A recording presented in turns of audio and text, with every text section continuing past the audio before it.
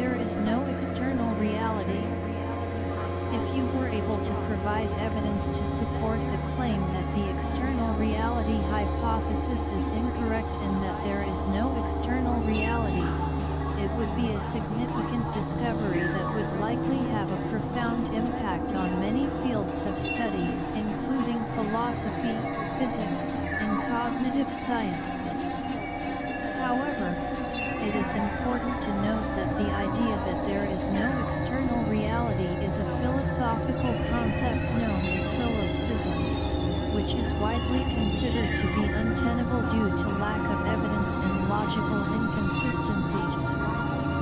Therefore, it would be difficult to prove such a claim and it would need to be supported by a large body of evidence and sound reasoning. Given that the external reality hypothesis is wrong and that there is no external reality, how do you explain the mind-body connection? If the external reality hypothesis is incorrect and there is no external reality, it would be D. Heading Level 2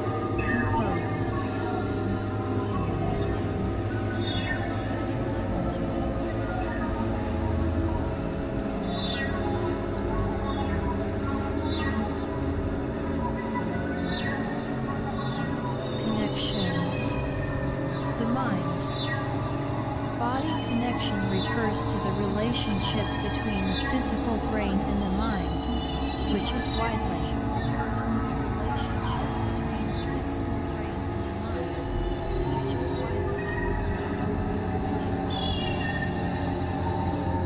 Mind.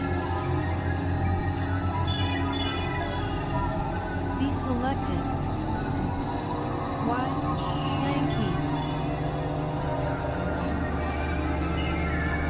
Considered to be a product of the brain's activity. If there is no external reality, it would mean that the brain itself does not exist.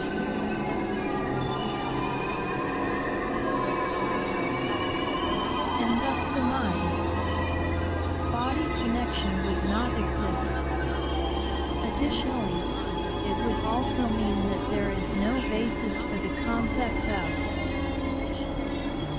causality, which is essential for the explanation of the mind-body connection.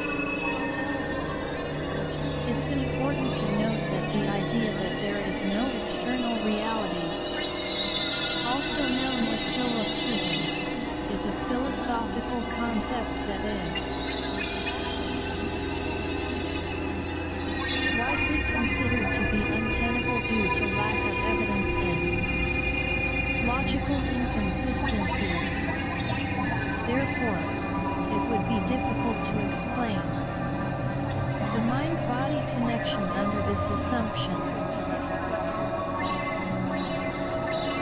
What selected?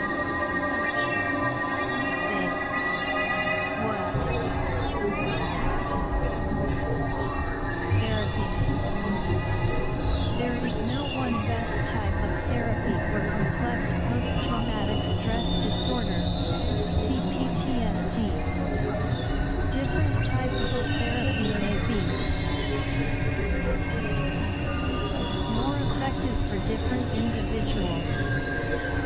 However, some types of therapy that have been found to be effective for treating CPTSD include Trauma-Focused Cognitive Behavioral Therapy, TFCBT. This type of therapy helps individuals to process and make sense of traumatic experiences and to develop coping strategies for dealing with symptoms of CPTSD.